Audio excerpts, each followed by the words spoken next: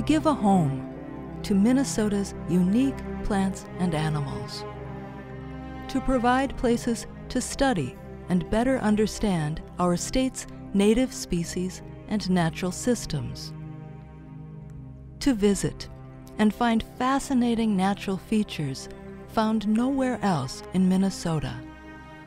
This is what Minnesota's scientific and natural areas are all about. They are natural places worth knowing.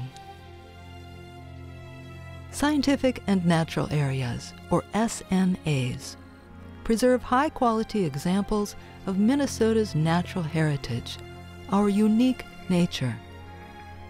They protect the last remaining habitat for the state's rarest plants and animals through a system of over 165 scientific and natural areas. You can find them across Minnesota, protecting landscapes with peatlands, native prairies, old growth forests, oak savanna, undisturbed lake shores, ancient rock outcroppings, and other invaluable natural features. This includes habitat for rare species. The goal is to ensure that Minnesota's rich natural heritage is not lost from the state.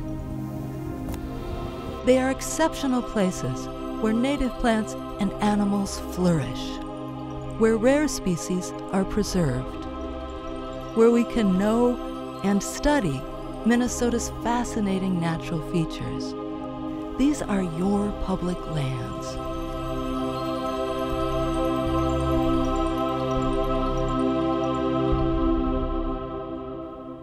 The Scientific and Natural Areas Program protects land in other ways too. It helps private landowners protect their prairie through native prairie bank easements and the native prairie tax exemption. It also helps protect other public lands that have rare natural features by working with the land managers and including the sites on the Natural Areas Registry. All these parts of the program work together to protect over 200,000 acres. Since these areas protect Minnesota's rarest natural features, it is important to treat them with care. Nearly all scientific and natural areas are open for solitude and an uncommon experience. Please be aware that most SNAs do not have trails, restrooms, or drinking water, so be sure to come prepared. Low impact activities like cross country skiing, hiking, photography, and bird watching are encouraged.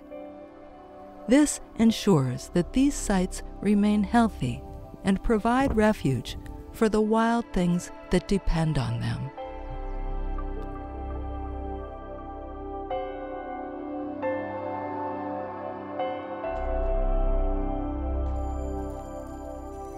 Preserving Minnesota's natural heritage can't be done by simply setting these lands aside. To effectively protect the variety of habitats and ecological niches, the management techniques, research, monitoring, and community outreach must be tailored to each site. Scientific and natural areas staff work with volunteers, scientists, natural resources experts, and partner organizations to care for these lands and their essential ecosystems. Scientific and natural areas are found throughout Minnesota. One is likely near your home. With your help, these areas will be protected and endure into the future.